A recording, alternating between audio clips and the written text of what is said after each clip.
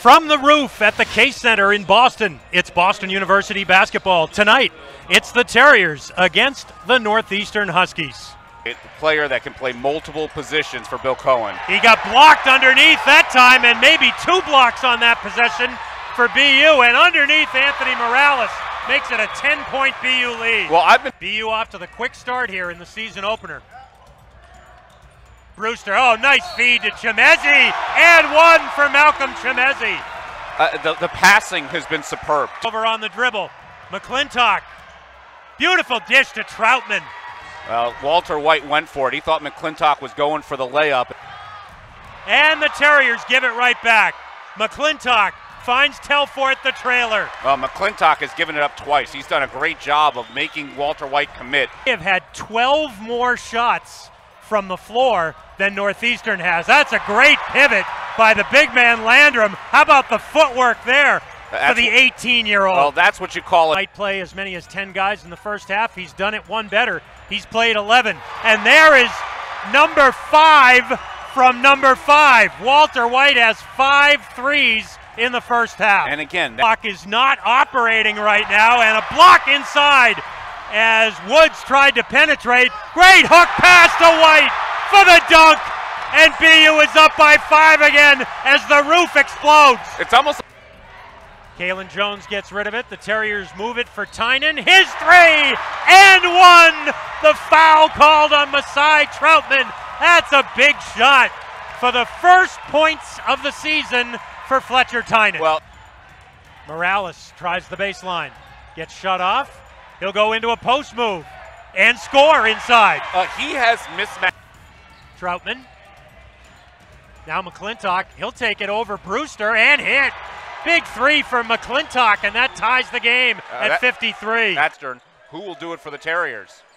oh, they feed Walter Whyte on the post. That was not an easy pass by Miles Brewster. Woods, the kick out for Walter Whyte. Northeastern is That's back, but Whyte spins around. No whistle called on McClintock, but Whyte is able to keep his composure and hit. And to go here in this one.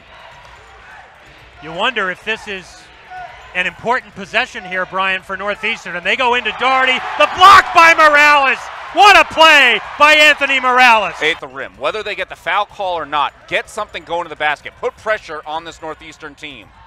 Walter White took a look at a three. Shot clock running out. Walter has to take it, and he makes it with two seconds on the clock. That was a deep two for Walter. Well, when it And since this rivalry came back to be a season opener a number of years ago, this is the first time that BU will win here at home. They had been 0 4 against Northeastern in season openers prior to tonight. And not to mention, we mentioned 14 out of the last 15 contests between these two teams were eight points or less. Here it is, a nine point game. And Doug, what, what, what did you say was coming down to the final possession?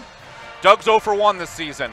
Walter, you hit a career high of 27 points in tonight's game. How does it feel to contribute this achievement to your team's win tonight?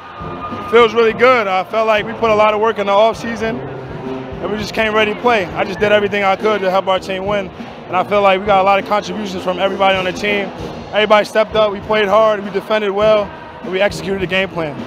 We like to put an emphasis on the first game of the season. How did you think your team was prepared for tonight's game after seeing them practice for several weeks in the preseason? Every day's a different day. Every day's a different day when it comes to practice. But these guys have been pretty consistent. You know, they get after each other pretty good. I felt pretty good going into the game. I thought we practiced pretty hard the last few days. And guys, pretty much, we got some older guys, so they know what it takes to get ready for a game, uh, and especially a, a cross-town, a cross-town rival like Northeastern. So very familiar with each other. Uh, so I thought our guys pretty much did a good job this week getting ready for this. And speaking of Northeastern having that young team, six freshmen, five of which played tonight. How challenging was it for you not to have film to watch them going into this game?